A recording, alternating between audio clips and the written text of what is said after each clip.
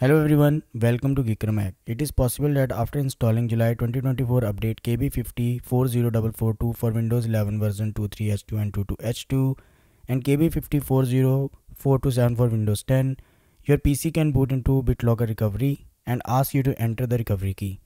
And if you landed on this video then it's possible that you are definitely facing this issue, right? In this video I'm going to show you how to fix this problem. But before we move forward, if you find this video useful in any way, please consider subscribing to the channel as this encourages me in creating more similar videos. As per the Microsoft, this screen should not appear after installing the update and usually appear for the users who have enabled BitLocker device encryption. They are investigating the issue. In the meantime, only solution is to enter the recovery key to get access to PC. To obtain the recovery key, head over to this page and log in using Microsoft account credentials.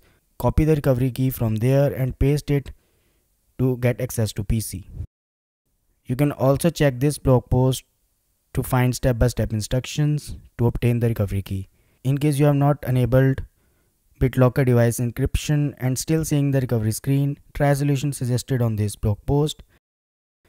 And if you're using Dell laptop, then try this solution. I hope you find this information useful. Whenever I get more update on this issue, I will update you. So that's all about this video. If you find this video useful, don't forget to like this video and subscribe the channel to get notifications about more similar videos. Thanks for watching.